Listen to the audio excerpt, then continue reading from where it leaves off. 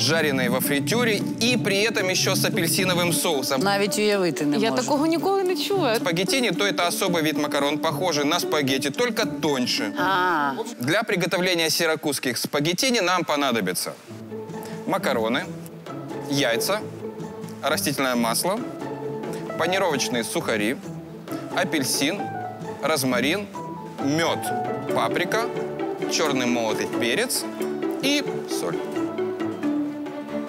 Но для того, чтобы мы сделали наши спагеттини вкусными, нужно знать один профессиональный секрет. який? И им с нами делится знаменитый шеф-повар, который обладает тремя звездами Мишлен, Хестон Блюменталь. Важно соотношение макарон, соли и воды. На 1 литр воды 100 граммов пасты и 10 граммов соли. 1110. Математика якась А починається. запам'ятати легко. Для этого блюда нам понадобится 100 граммов спагетти. А як же відміряти? И это настолько просто, что даже смешно. Но для этого мне понадобится всего лишь простая пластиковая бутылка Ось така? Си, сеньора! Секрет простой, но для того, чтобы мы не останавливались, нужно поставить нагреваться воду. Наташа, Да. тебе вопрос на засыпку. Если у нас 100 граммов пасты, сколько у нас воды, Літр, а соли? 10 грамів. Итак, у нас есть спагеттини. Сейчас мы посмотрим, сколько порций у нас получится. Для этого берем бутылку и обращаем внимание на горлышко.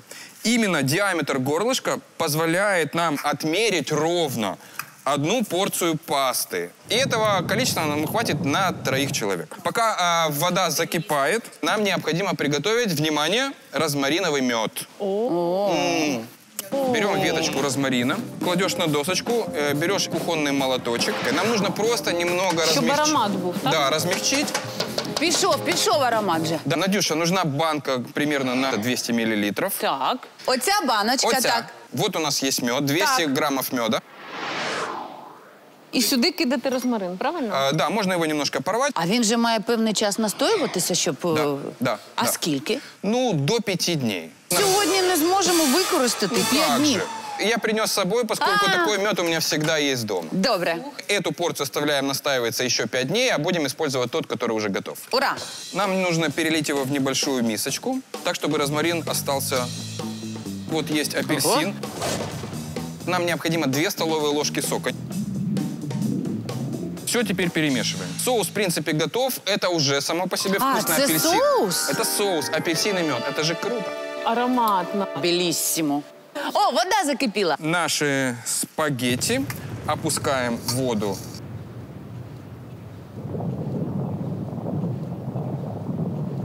Всего лишь 7 минут нам понадобится для того, чтобы они сварились у нас практически до полуготовности. Необходима сковородка, и в нее мы нальем немного масла Нам необходим слой масла в 2 сантиметра. И теперь этап э, следующий. Мы готовим кляр. Кляр для макаронів? Да. Я в шоці. Наташенька, умеешь разбивать яйца? Так. Прекрасно. І серця. Одне? Цього вистачить? Туда же добавляем пол чайной ложки соли, паприки и черного молотого перца. И сейчас специи мы взбиваем вместе с яйцом. Для этого блюда к макаронам мы еще используем панировочные сухари. Нам необходим один стакан панировочных сухарей. Я предлагаю сейчас проверить состояние наших спагеттини. А, гаряче! А! Можем вытаскивать, ардента есть. Дай дуршлаг, пожалуйста. Даю. На кухне часто бывает, что кастрюлю с плиты надо снять и поставить на стол. Чего только народ не делает. И газеты подскладывает, и на весу работает. Хотя, казалось бы, нужно просто выбрать хорошую подставку под горячее. Подставки бывают разными. Деревянными, пробковыми, керамическими и даже металлическими. Но главное выбрать подставки, которые по диаметру больше дна вашей кастрюли. А чтобы выбрать идеальную подставку, можно зайти на сайт интернет-магазина. Там и отзывы можно прочитать, и сразу же заказать, не выходя из дома. Теперь вот эту порцию разделяем визуально на три части, берем вилку, обмакиваем треть в яйце со специями, опускаем в сухари, Тепер в олію? Да, и теперь мы можем опускать прямо в масло. У-у-у. Когда положили их на сковородку, необходимо их оставить и не сильно перемешивать, для того, чтобы они лучше прожарились. Нам необходимо всего лишь 3 минуты для того, чтобы макароны стали хрустящими. Надюша, за это время мы должны подготовить тарелку, чтобы мы могли убрать излишки масла. З радістю, адже я скористаюся паперовими рушниками, які вмить беруть зайвий жир і не залишаться на продукті. Дуже зручно. Давай рушнички. Дякую. Все готово.